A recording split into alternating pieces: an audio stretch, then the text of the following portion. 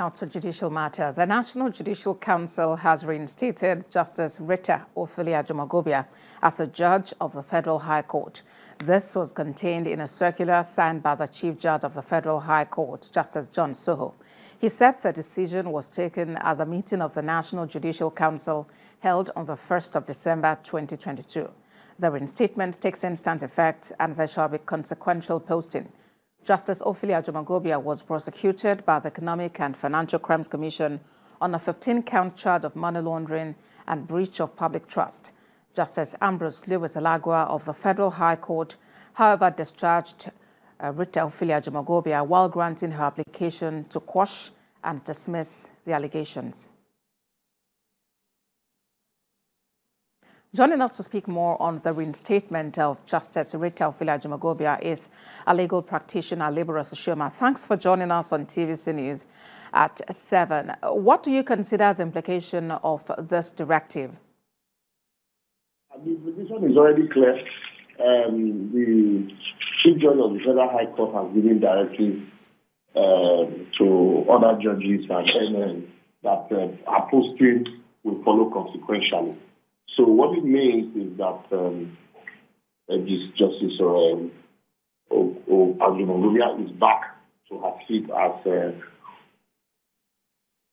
a judge of the Federal High Court of the Federation of Nigeria. That's what it means. Um, and remember, in um, 2018, 2018, um, the NJC recommended her sack on the basis of uh, a report. And um, subsequently, like you said, stated in your report, uh, President Buhari acted on that recommendation from what I gathered. And like you said in your report, she approached the Federal High Court. And in 2019, that report that uh, led to her uh, attack was uh, quashed by the court. The NJC report was, was quashed. So the NJC, and then she was subsequently discharged and acquitted because having heard that it lacked jurisdiction to hear the matter of the, that, uh, the foundation for which she was charged haven't been quashed. So what it then means is that um, uh, there is no allegation against um, Justice Ajumogobia. Mm. Um, so there's a debate actually on whether having the, the recommendation, having the um, uh, acted upon by the president if the NJC still have the power to reinstate her. Uh, the president hasn't acted on, on, on his recommendation. You remember yes. also uh, the case of uh, Justice Ayo Salami. There was a recommendation which was acted upon, and when the NJC subsequently uh, now uh, reversed itself, the president refused to act on that recommendation. So um, and if you remember, the APC then that was in opposition criticized that move. Mm. So let us see if um, this also will be uh, criticized by them because it's almost like what happened to Justice Salami then is what is happening playing out today, okay. even though both cases are different because that of Justice Salami was not um, of corruption, it was a completely different matter altogether. How about Mr. So, Shoma? Uh, this matter has been on since 2016. That's about six years. And for, for long, we've been talking about the wheel of justice grinding quite slowly in Nigeria. Is that still the case? Yeah. Yes, uh, I always say this. People say the wheel of justice, wheel of justice grinds slowly but surely. But we forget that justice delayed is justice denied also. So uh, memories would have failed a lot of people. And so some people will not be remembered. Even for some of us, we have to go back to check the records again. If, oh, yes, the same Justice Ajumogobia, was she discharged? Um, was there no case against her? You know, and all of that. So I think um, this idea of justice uh, being delayed, uh, uh, sorry, this idea of uh, the windmill of justice grinding slowly but surely, uh, we should quickly allow the windmill of justice now grind, grind faster so that people will know their fate. Um, remember the case of the policeman, um, Mr. Okoli, who went to court in 2000 and, um, in 1999 and didn't get. They went to court in 2003 and didn't get judgment until 2011, until date.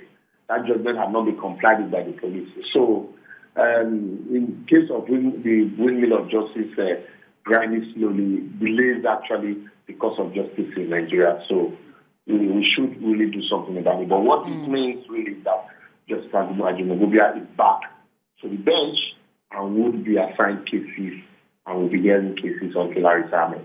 Mm. So in the case of Justice Ofili-Ajumogobia, can we actually say that justice uh, uh, delayed is justice denied? Because yes, indeed, she's been reinstated, but then also on the minds of the different people, there will be that talk about uh, uh morality. I imagine a lawyer standing before her lordship and then um, exactly how these matters would play out in the law courts.